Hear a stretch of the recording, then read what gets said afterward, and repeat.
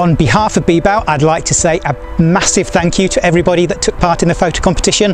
This year we had a few new categories which only meant an even wider range of wonderful wildlife photos to select from. It did not make the judging easy. It's great to see people interested and taking action for wildlife, both on their doorstep, in their community, and of course out at our nature reserves. Thank you everyone.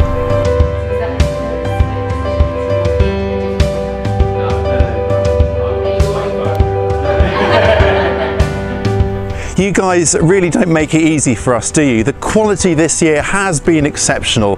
What I've loved is seeing photographs of people clearly passionate about wildlife from all different age groups and it's lovely to see entries from the children and teens as well. Well, it's been such a, a joy judging this and uh, wow, you guys have really given us a hard job this year. Thanks so much.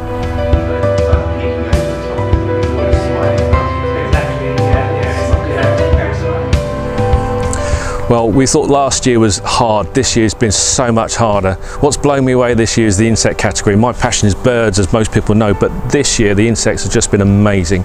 Um, the winners we've had to deliberate over many times, so well worthy winner at the end. Well, you'll wait and see, but well done to everyone for entering.